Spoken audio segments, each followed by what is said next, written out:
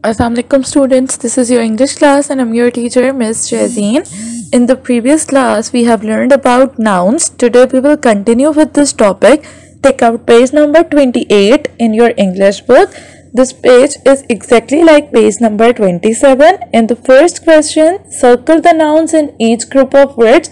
Here you have to circle the nouns and in the second questions, use the nouns above to fill in the blanks. Here we have some blanks. You have to fill these blanks with the help of the nouns that you have circled in the question number 1. After doing that, come on to page number 29. Here you have some sentences written and you have to underline the nouns here. The nouns are name, place, animal and things. Now here you have to um, underline all the nouns in each line. After underlining, now at the bottom you can see the copy work. Make sentences using a noun, animal, place, person or thing to each. Now take out your English copies and make the sentences of two animals, two places, two persons and two things.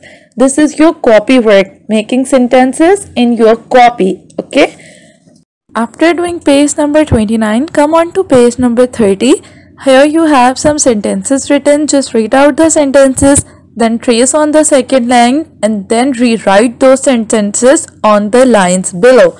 Okay? After doing that come on to page number 31 here we have a short story or a short composition and the name is Anne makes a cake. Okay now here we have four pictures after the pictures, see at the bottom we have four sentences written. A. She puts the cakes in the oven. B.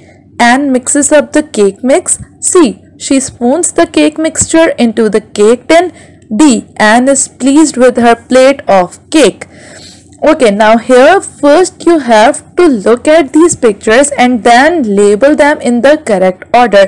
Now you have to see which step will be followed first then the second step what will be the third step and what will be the fourth step? Here firstly order them according to their pictures and then make a story.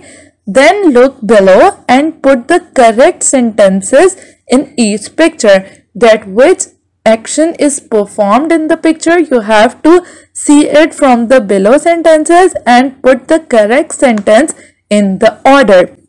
After completing the story Come on to page number 32 and 33.